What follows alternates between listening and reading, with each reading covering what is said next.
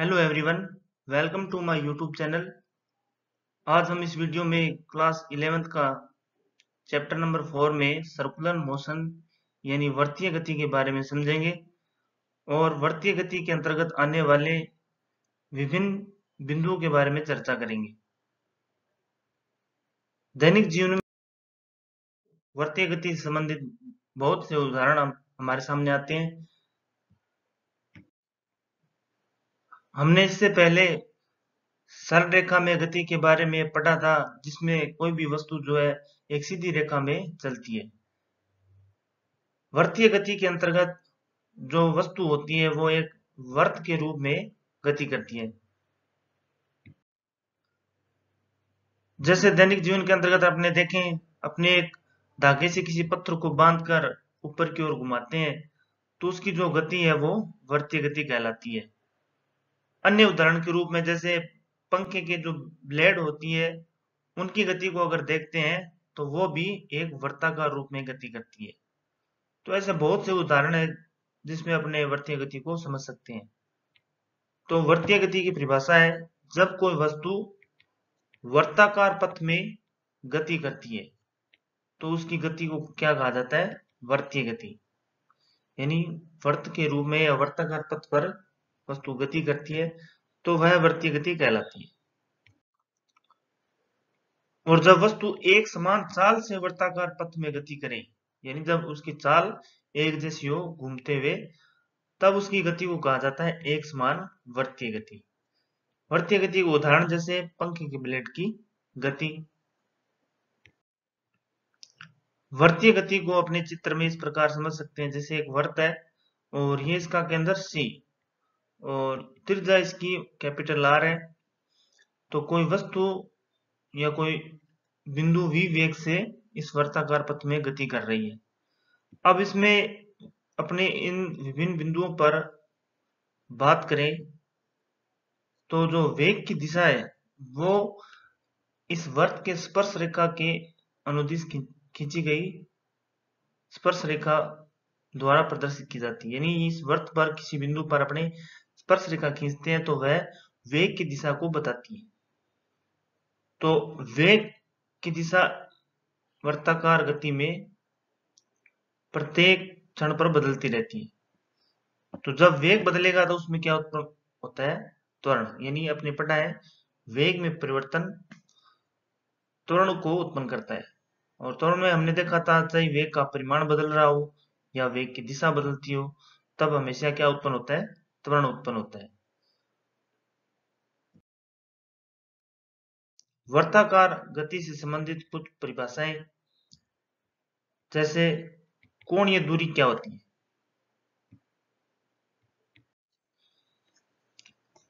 हम किसी वस्तु की गति पर विचार करते हैं, मान लेते हैं, प्रारंभ में यह बिंदु ए पर था, ये पॉइंट ए मान लेते हैं इस पॉइंट पर कोई वस्तु थी और कुछ समय बाद वह पॉइंट बी पर पहुँच जाती है। अब इसमें दो प्रकार के परिवर्तन अपने देखेंगे। एक तो इसके अंदर जो कोण है इसका, वो बदल रहा है। प्रारंभ में यहाँ पर था ज़ीरो डिग्री और जैसे ये गति करती है वर्ताकार पथ में तो कोण बदलता है। मान लेते हैं डेल्टा थीटा के रूप में इसको लिख सकते दूसरा इसके अंदर ये जो वर्तीय पथ है, इसके अंतर्गत जो ये गति करता है, उस दूरी को अपने मान लेते हैं डेल्टा एस, और इसकी त्रिज्या आर है, और केंद्र इसका सी है। अब कोण दूरी क्या होती है? वर्तीय गति करते हुए कण के कोण में जितना परिवर्तन होता है, यानी जो वर्तीय गति है इसमें कोण में परिवर्तन होता है, क्योंकि ये वर्ताकार एक घेरे के रूप में जो है चक्कर लगाता है। तो प्रत्येक क्षण पर अपने देखेंगे तो देखिए कोण का मान पहले से बदलता रहता है।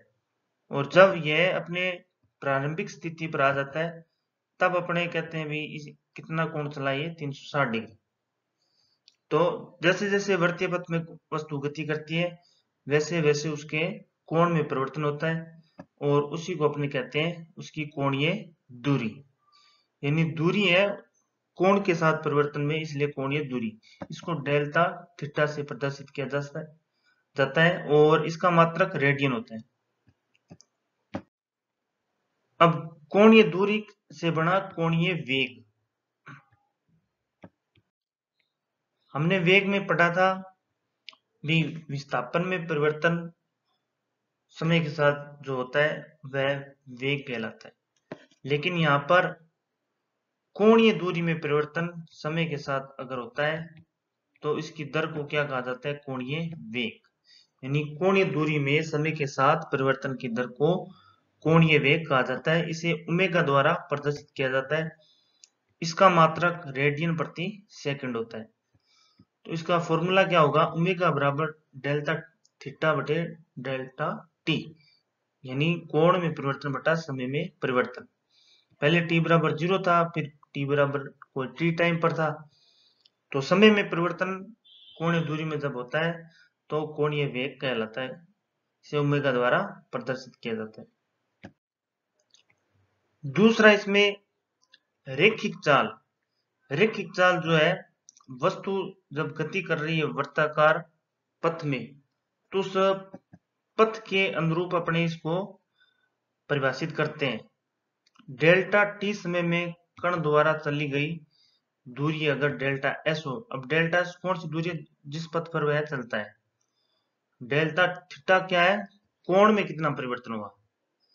तो रेखिक चाल उसके पथ से संबंधित है और जो कोणीय दूरी है, उसके कोण से संबंधित है। तो अपने पता है चाल का सूत्र क्या होता है? दूरी बट्टा समय। तो यहाँ पर दूरी, डेल्टा एस, यानी जिस पथ पर वह चल रहा है, ये एक प्रकार से इसको चाप बोल सकते हैं अपने। इतना इतना चाप चला ए से बी तक, और बटे समय डेल्टा टी। अब हम जानते हैं कोण चाप और त्रिज्या के मध्य क्या संबंध होता है? कोण बराबर अपने पास होता है चाप बटे त्रिज्या। यानी ये जो कोण है, इसका मान किसके बराबर होता है? उसके सामने वाला जो चाप है और बटे में त्रिज्या तो इस चित्र के लिए कोण है डेल्टा थीटा, चाप है डेल्टा एस और त्रिज्या है कैपिटल आर। तो यहाँ से डेल्टा एस का मान आर डेल्टा थीटा अपने लिख सकते हैं।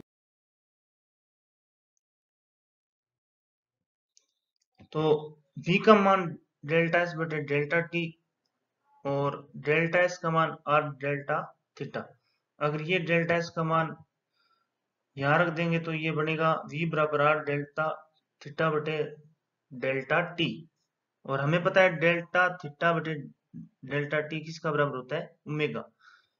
तो रेखिक चाल का मान ये भी अपने को प्राप्त होता है आर उमेगा v बराबर आर उमेगा अब इसमें वेग है तो अपने पास त्वरण भी प्राप्त होगा।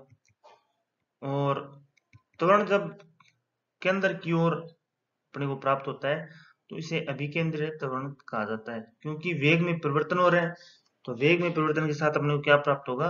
त्वरण भी। तो किसी आर त्रिज्या वाले वर्तीय पथ के अनुदिश वी चाल से गतिमान वस्तु में उत्पन्न त्वरण, जिसकी दिशा सदैव वर्त के केंद्र की ओर हो, उसे अभिकेंद्रीय त्वरण कहते हैं। यानी इस त्वरण की दिशा जो होती है वर्त के केंद्र की ओर होती है चाहे किसी भी बिंदु पर इसकी अपने दिशा देखते हैं तो हमेशा जो अभिकेंद्रीय त्वरण है, वो केंद्र की ओर प्राप्त होता है। अंग्रेज़ी में से सेंट्रीपिटल फोर्स कहते हैं, जो कि ग्रीक भाषा का शब्द है। और इसका मतलब क्या होता है? केंद्र अभिमुख, यानी ऐसा त्वरण जो केंद्र अभिमुख हो अभिकेंद्रीय त्वरण उसे कहा जाता है। इसका फॉर्मूला है ए सी यानी C force centripetal force V square बटे आर अगर v का मान आर ओमेगा है तो ए सी का मान इस प्रकार परिवर्तित भी कर सकते हैं। आर ओमेगा स्केयर बटे आर आर से आर कैंसिल होकर ए सी का मान आर ओमेगा स्केयर यानी ओमेगा के रूप में भी लिखा जा सकता है। ये रेखिक चाल के रूप में अब आवर्तकाल क्या होता है? वर्त का एक चक्कर लगाने में वस्तु को जितना समय लगता है उसे क्या कहा जाता है?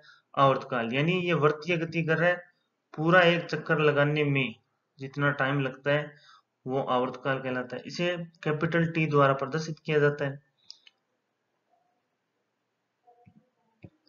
अगर एक चक्र में वस्तु द्वारा तय दूरी इस चित्र में क्या होगी? S बराबर टू पाई आर डेल्टा तो इसका एक भाग है। अगर पूरा एक चक्कर अपने ले, s जो दूरी है, वो क्या होगी? परिधि होगी वर्त की। तो उसका मान कितना होता है? टू पाई आर और रेखिक चाल अगर अपने यहाँ से लिखें तो v बराबर टू पाई आर बटे टी क्योंकि अभी हमने पढ़ा रेखिक चाल जो है, v बराबर डेल्टा एस बटे डेल्टा टी लेकिन पूरे चक्र के लिए जो दूरी है, वो टू पाई आर और पूरे चक्र के लिए समय जो है कैपिटल टी यानी आवर्तकाल तो पूरे चक्कर के लिए जो रेखिक चाल है वो v बराबर टू पाई आर बटे टी अपने पास प्राप्त होगी। अब आवर्ती किसे कहते हैं? एक सेकंड में वस्तु जितने चक्कर लगाती है, उसे क्या कहा जाता है? वस्तु की आवर्ती। और इसे न्यू द्वारा प्रदर्शित किया जाता है। इसका मात्रक प्रति सेकंड होता है और इसका फॉर्मूला होता है न्यू बराबर वन बाई टी यानी यह आवर्तकाल के व्युत्क्रमानुपाती होता है। तो रेखिक चाल का ये जो सूत्र है, v बराबर two pi R by T यहाँ से अपने वन बाई टी का मान न्यू भी रख सकते हैं। तो v का जो फॉर्मूला है, वो टू पाई आर न्यू बन जाता है। और उमेगा के लिए अपने अगर लिखना चाहे तो उमेगा बराबर थीटा बटे टी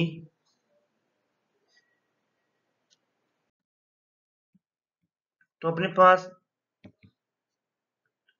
ये उमेगा कोणीय जो रेखिक चाल है और कोण का चाप के साथ संबंध, ये अपने पास अभिकेंद्रित त्वरण, ये अपने पास प्राप्त हुआ आवर्ती का, ये पूरा एक चक्कर में दूरी तो इन सूत्रों को अपने आपस में इंटर रिलेट कर सकते हैं। जैसे उमेगा बराबर डेल्टा थीटा बटे डेल्टा टी और डेल्टा थीटा का जो मान था, डेल्टा एस बटे आर।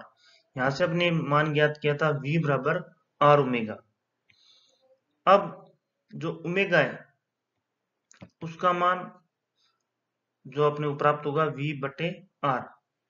इस फॉर्मूले से अपने ओमेगा का मान निकाले तो ये आर कहाँ चला जाएगा? इसके बटे में।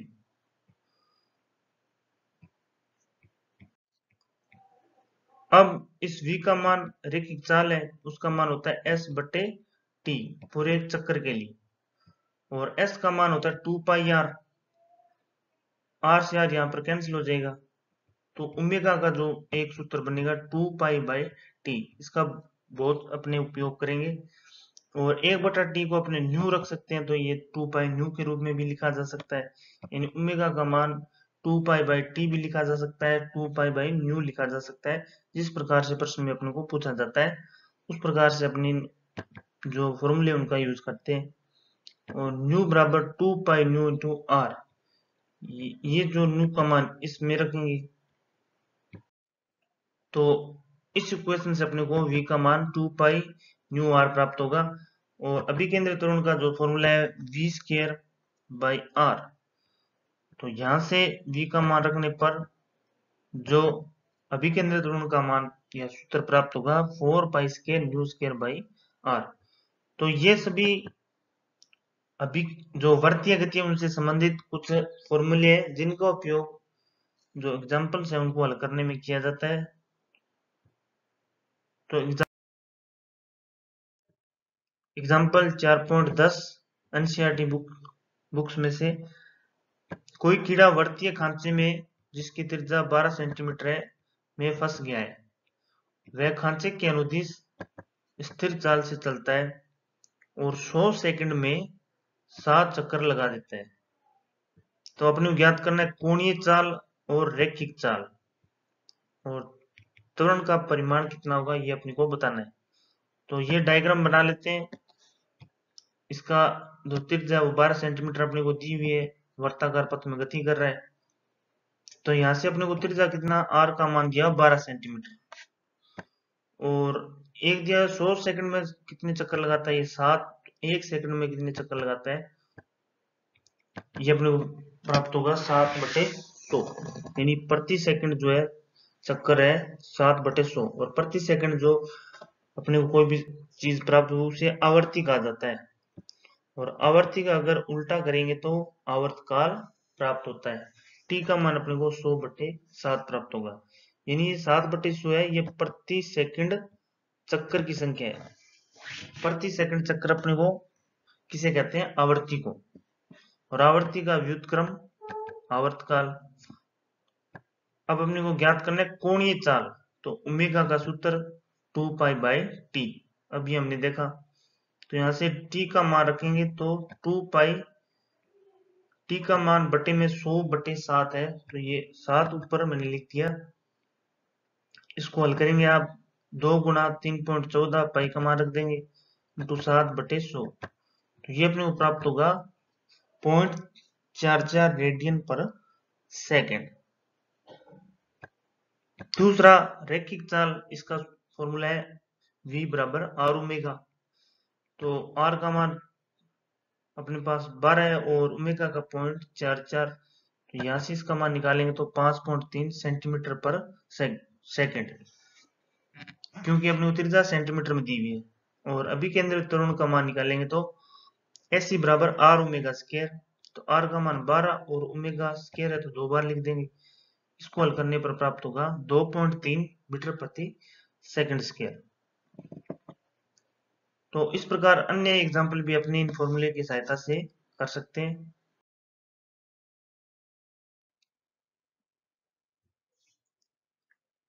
तो आपको ये वीडियो अच्छा लगा हो तो इसे लाइक ज़रूर करें और अन्य इस प्रकार की रिलेटेड वीडियो देखने के लिए चैनल को सब्सक्राइब करें। Thank you